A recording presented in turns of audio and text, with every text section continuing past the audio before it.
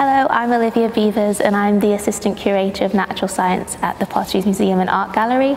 Today I'm going to be talking about Blue John fluorite and its history and how it's formed.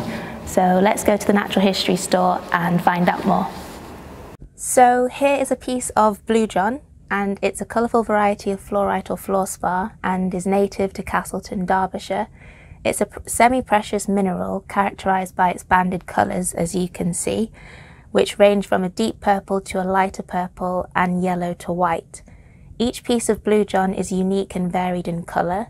Large pieces of blue john were crafted into ornamental vases and columns for places like Chatsworth and Buckingham Palace. Traditional techniques called turning are still used today to make smaller items including jewellery, ornaments and bowls. The name Blue John is rumoured to have originated from the French bleu et jaune, meaning blue and yellow, which would directly relate to its colouring. It is believed by some that Blue John was first discovered by the Romans who were mining lead around 2000 years ago in Castleton. For comparison, here is some regular fluorite, and as you can see, it has a glassy luster and comes in various colours, but it isn't normally banded, which is what makes the Blue John so unique. Fluorite is an industrial mineral associated with lead ores like galena. Fluorite often occurs as a gangue mineral, which is a mineral that is commercially worthless but is associated or mixed with more desirable mineral ores like galena. On a fresh surface, galena has a very eye-catching silver colour and a metallic luster or shine, but this can tarnish to a dull grey. Galena is an ore of silver as well as a lead ore, and lead is a very important material, especially within the uh, increasing demand for hybrid vehicles and lead acid batteries. Blue John has been mined since the mid 18th century for ornaments and jewellery.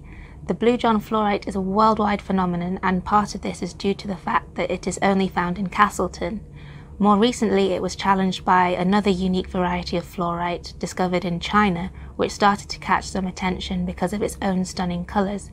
The rarest variety found in China is the zebra fluorite, which combines a teal colour with Siberian purple.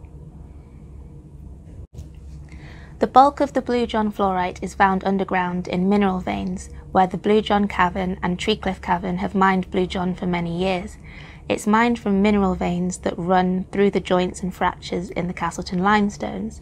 At present, there are 15 known veins of Blue John running through Castleton. The mineral veins, which vary in thickness and length, were formed from hydrothermal fluids, which are extremely hot fluids. They pass through the fractures and cracks in the rock, and as the fluid cools, the minerals within the hydrothermal fluids begin to precipitate out and form crystals. Smaller flecks of purple and yellow fluorspar can be found on the outer face of the Castleton limestone rocks as well. A large proportion of Blue John fluorspar was mined during the First World War and used as a flux in the blast furnaces in the steel industry. In 1926, commercial mining stopped and the landowners began to protect the cave passageways and they were opened to the public shortly after. The more significant veins, which were mined for larger objects, were mostly worked out and only small amounts of the Blue John are mined today.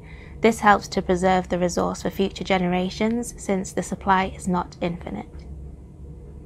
Hope you've enjoyed this film today and hope that you can join us again next time. Don't forget to check our social media channels for more information.